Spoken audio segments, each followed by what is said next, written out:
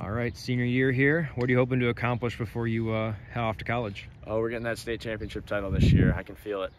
And uh, I know you have improved your game quite a bit over the years. Uh, what area of your game do you think you've improved the most at?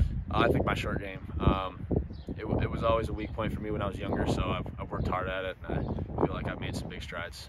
And uh, I know a lot of golfers tinker with their swing. How much tinkering have you had to do over the last couple of years? Um, not a ton. I mean, I, I always felt like I had a good base base swing um, from when I was younger, but my coaches have helped me get in the right positions when I needed to be, and um, it's worked out. So. Okay.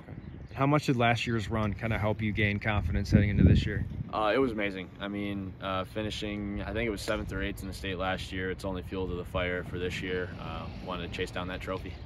I know you. A lot of the guys are back this year. Uh, what's the team chemistry like when you guys have known each other for this long? Oh, it's amazing. Uh, we're all brothers. Um, Dylan and RJ being cousins, um, we've played together for years and grew up playing, laughing, having ga uh, playing games. So it's been amazing. Okay. What's uh, I guess as far as the team's concerned, who's the most likely to show up late to practice? that would be Mr. Max Brown. Okay. Uh, team jokester? Anyone who has a cracking jokes all the time? Uh, Dylan Listman. Okay. Uh, anyone who thinks they can sing? They sing a lot. Um, or try to sing at least. Maybe R.J. Listman. Okay, goes hand in hand. Yep.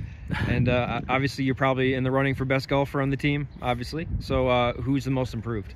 Um, I would have to go with either Dylan Listman or Max Brown. They both made some amazing strides over these last couple years, and uh, it's shown. Okay. What's the uh, longest drive you ever had? Uh, I believe it was about 375 yards. Okay. Longest putt you've made? Maybe 50 feet. Okay. And what's your favorite course to play on? Um, I would say Arcadia Bluffs. Okay.